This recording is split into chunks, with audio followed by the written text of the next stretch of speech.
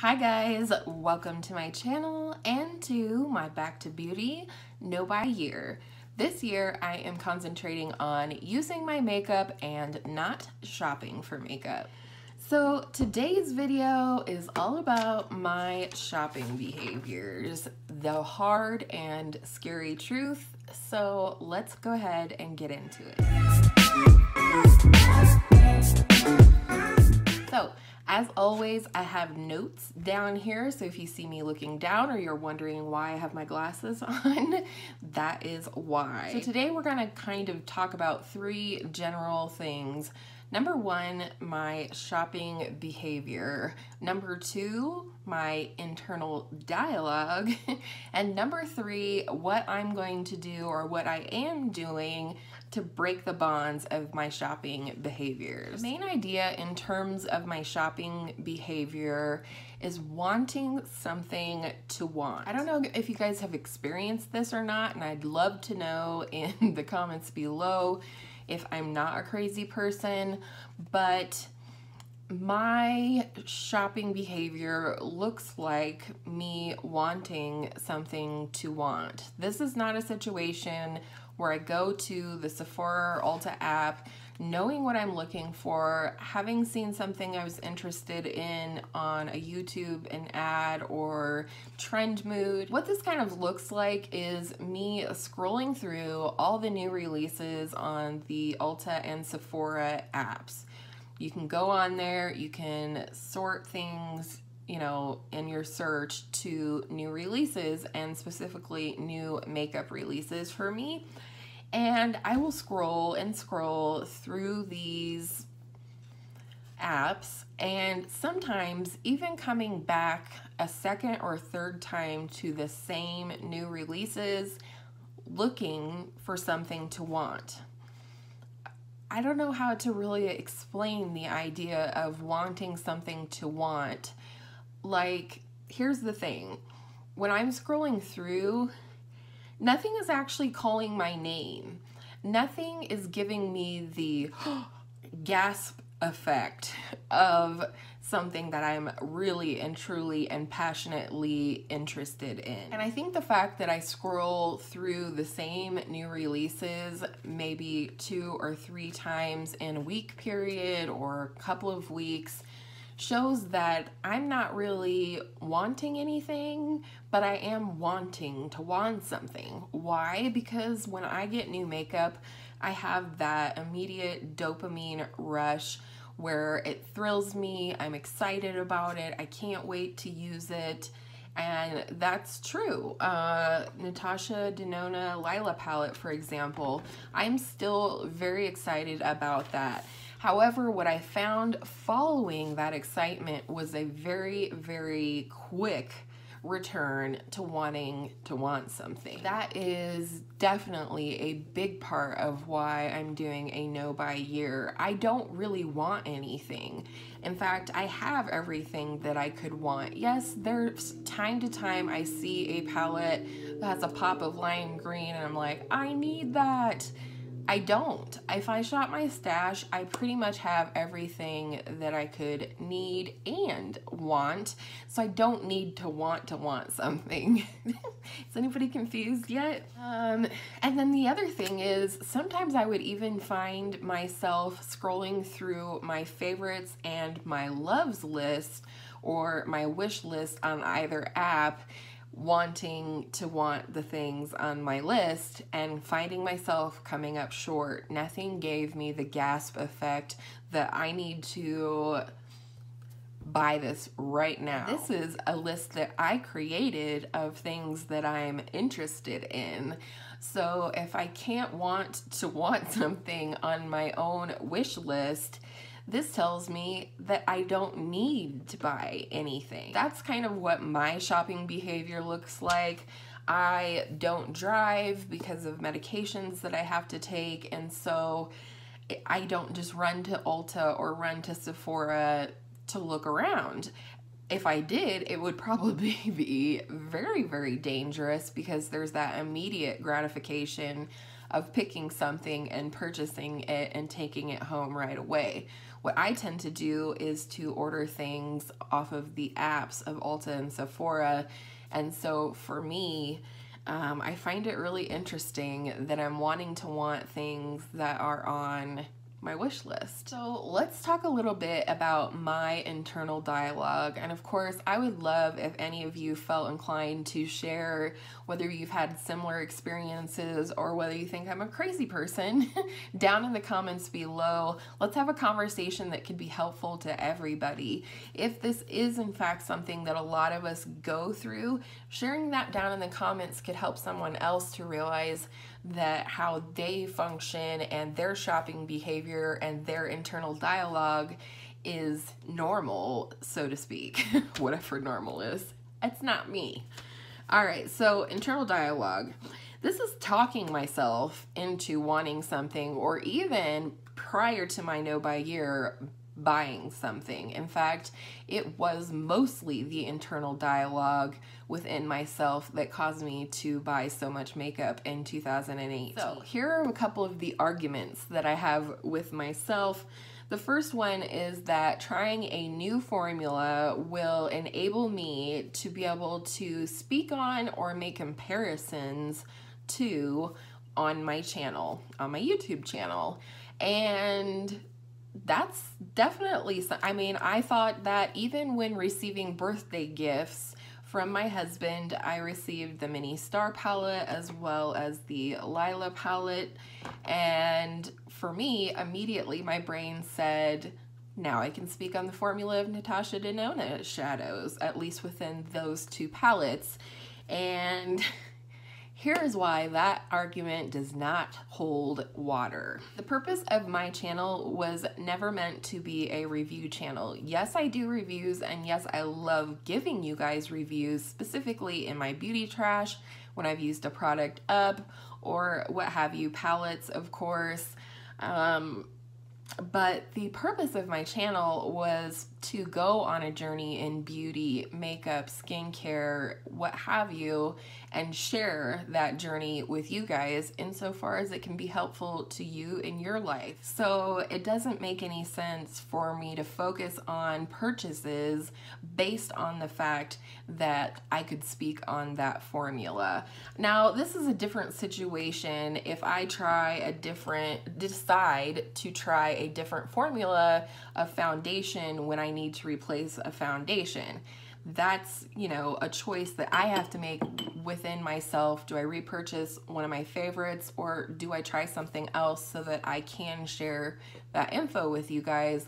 But that's totally different than being like, I'm gonna buy the Lila palette. Sorry, it's just sitting here. I used it on my eyes today, so I'm not trying to like flash it off or anything but that's totally different than saying I'm going to buy this eyeshadow palette so that I can speak on the formula and review it on my channel. The next argument that I have with myself, and I do remember Hannah Louise Poston also speaking on this argument or this internal dialogue, and that is whatever the product is, skincare, makeup, fragrance, anything that you put on your person, your clothes, your glasses, your jewelry, whatever it is, the argument I find myself having with myself is that it will bring me closer to my ideal self. And I should say ideal self because after all, what exactly is an ideal self? Well, ultimately, if you're a happy, healthy individual, your ideal self is exactly who you are. If you're happy and you're healthy, there's nothing more that you can ask than that. But just for the sake of this argument, let's go ahead and identify exactly who my shallower self sees as my ideal self. I have a little list here that I made. Um, so internally, my ideal self is flawless skin, unique makeup looks, which I do think I do, uh, complete makeup collection, lacking nothing, skinnier than I currently am, and perfectly put together woman, mom, and YouTuber. Fail. Neither makeup or skincare are going to bring me anywhere closer to my actual ideal self. So then I sat down and made a list of things that I think are actually part of my actual ideal self, whatever that is. But it is who I aspire to be. It's what I want people to think of me when I'm gone. And here it is.